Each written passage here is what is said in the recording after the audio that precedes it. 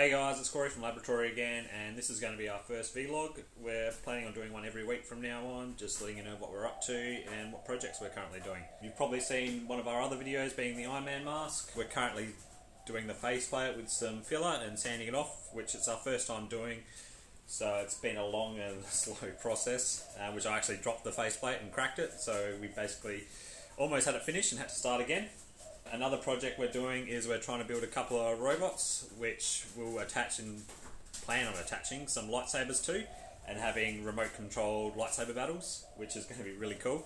In keeping touch with the Pokemon Go rage that's out at the moment, I'm currently making, and it's printing right now, a Pokemon iPhone 6 Pokedex cover that looks like the real thing from the original series, which is going to be really cool.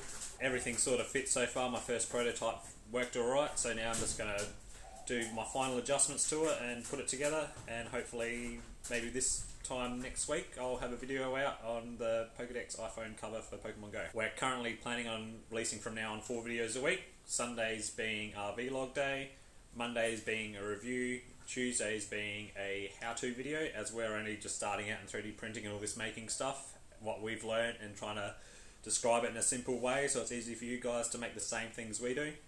Um, and Fridays being a project day, so showing what we've made and having a bit of fun with it. If you guys have got anything you want us to try and make and do, just leave a comment on any of the videos. We always check the comments. We're happy to do anything that sounds really cool and exciting and that no one's done. Uh, if you've been enjoying the videos so far, don't forget to like and subscribe and leave a, leave a comment, and we hope to hear from you. Have fun.